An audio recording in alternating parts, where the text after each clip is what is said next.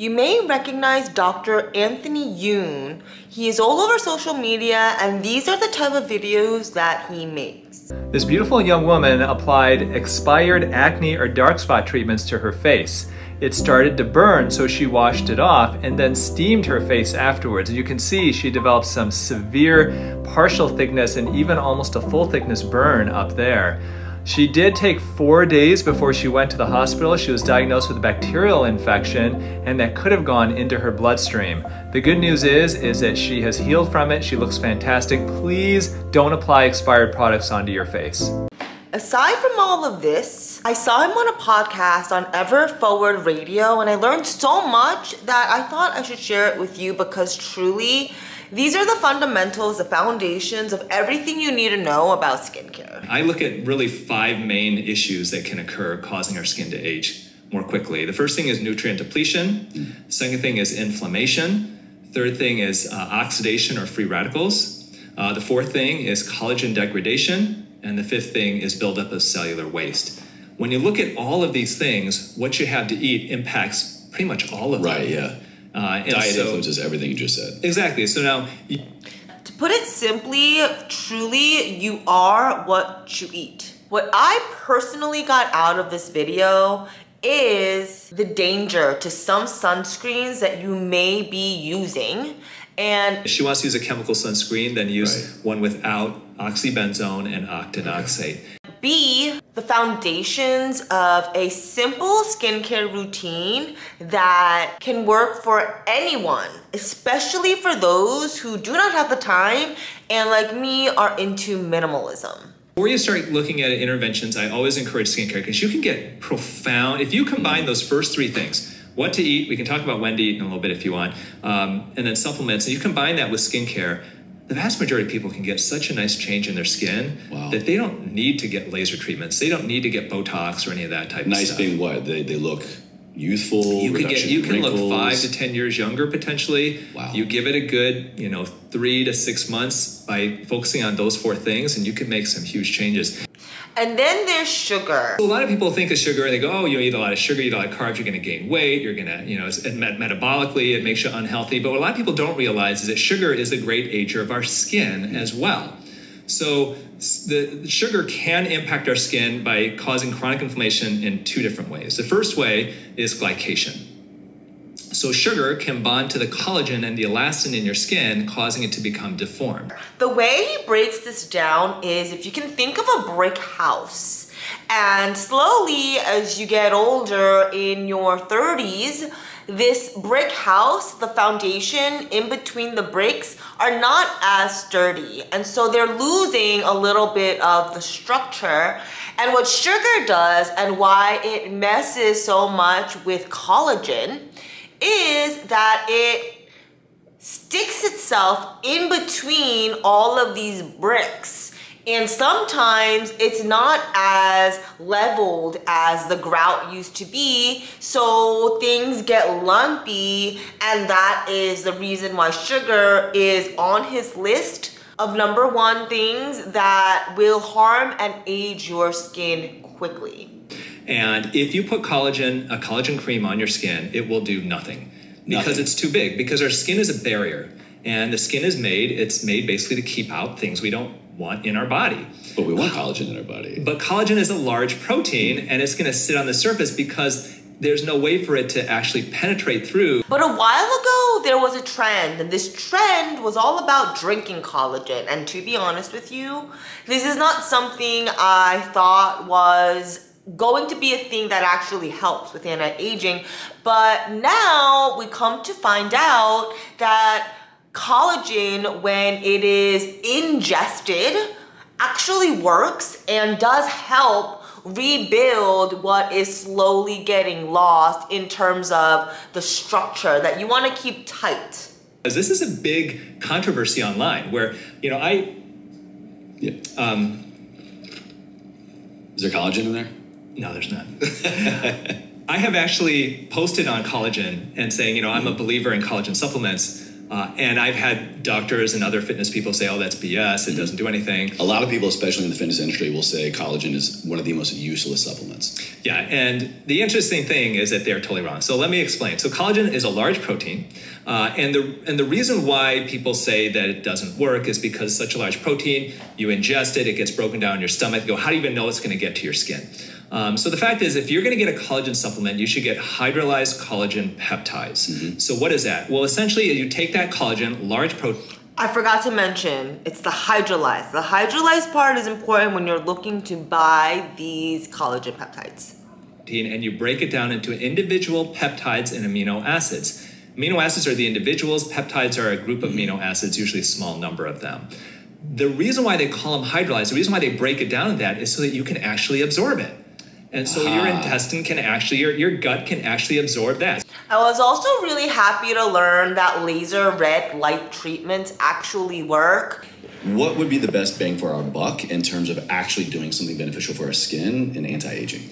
Yeah, so the first thing that I would look at would be red light therapy. That'd be the easiest thing. The one that I have is great because you could walk around with it, you have to charge it. There's one thing that I will commend this mask for is that the lifetime is crazy. It's still powering on. Again, this is a rechargeable LED mask that you could literally walk around the house with as you're treating your face. So I wanna give you guys a gist of how badly this needs to be maintained. Do you see the level of dust?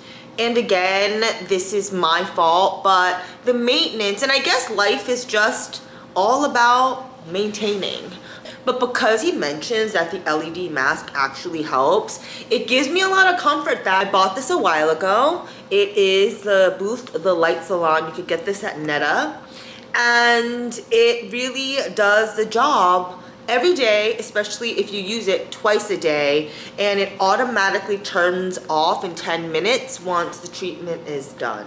For those of you who are interested in a super, super simple skincare routine where all of the aging benefits are included, all he suggests, and I completely agree, is cleansing of the face at night, then a retinol, and then a cream. Good night. And for the daytime, it's cleansing the face, a vitamin C, and then a sunscreen. What do you mean by very basic skincare routine? Um, so, basic skincare routine, if this is something that anybody can do, it literally takes two minutes, okay, a day, um, and it will cover pretty much whatever you need. Mm. Okay, so the first thing is you cleanse your skin in the morning. You want to use a cleanser appropriate for your skin type. So if you've got oily skin, then you want to use like a foaming type of a cleanser. Mm. If you've got really dry or sensitive skin, then you want to go with a more milky or hydrating cleanser.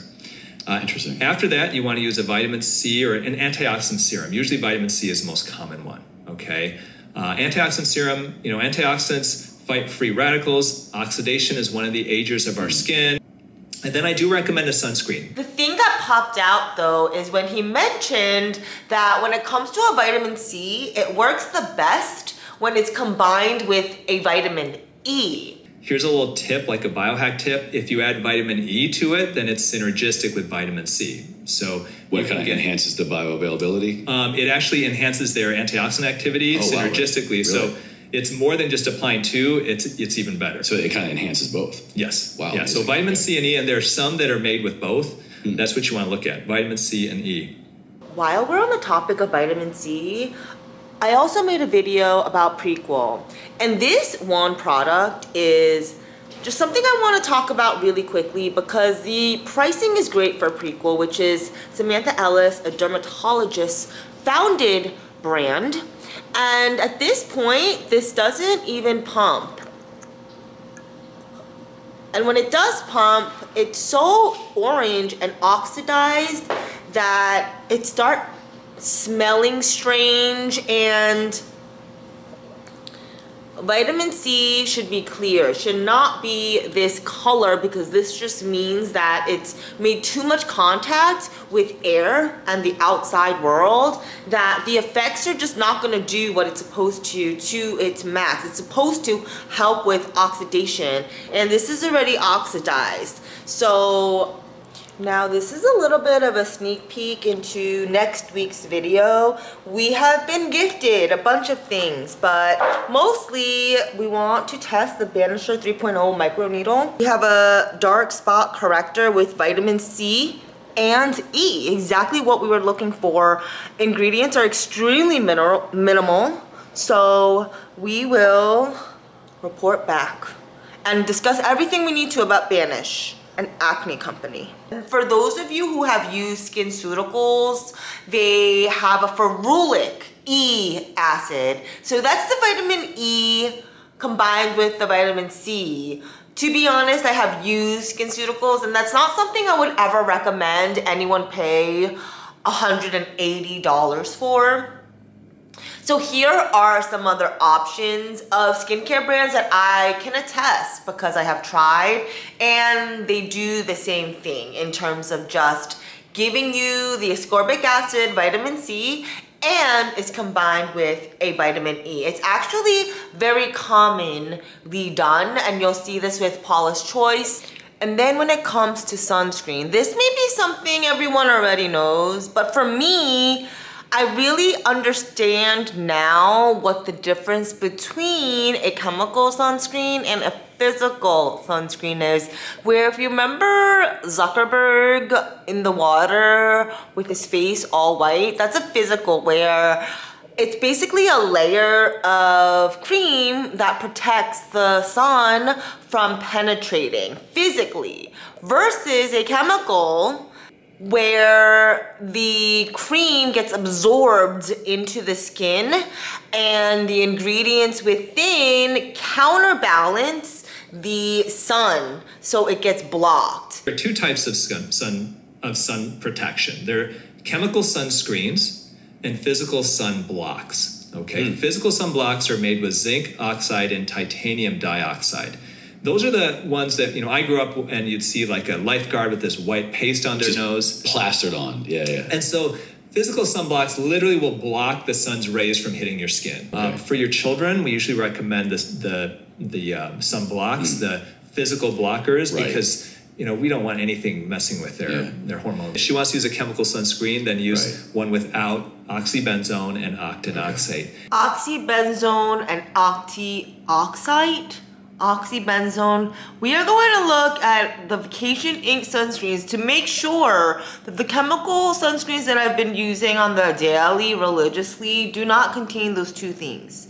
And I'm going to figure out how they are spelled. Breathing it into their lungs, oh, and these are potential hormone disruptors like it, He's talking about the sprays, the suns, the SPF sprays that I am very much against.